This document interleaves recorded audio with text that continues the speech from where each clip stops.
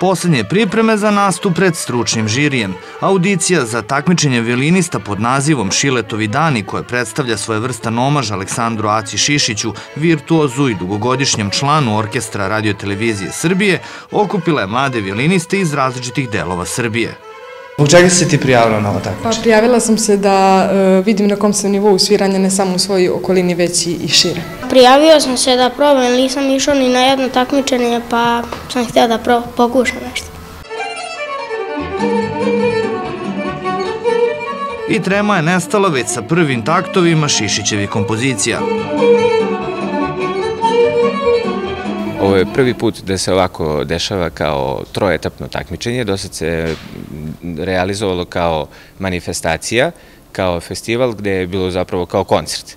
A po prvi put je zapravo festival u smislu troetapnog takmičenja. Prvi dan je audicija. Imamo decu koja su došla iz Valjeva, iz Lazarevca, Piromana, Orašac, Obrenovac, e, Rudovci, Trbušnica, Valjevo, tako da se nadam da će biti lepo i da će naši obrenočari imati šta da čuju u narednih par dana. Stručnom komisijom je predsedavao Momčilo Moma Stanović, violinista, dugogodišnji kolega i prijatelj Ace Šišića. Imao sam izuzetnu čast i jednog divnog, indirektnog ovaj, ovaj učitelja, Aleksandra Šišića. E, e, Nisam ovaj direktno nikad ovaj od njega učio, ali sam ja krao.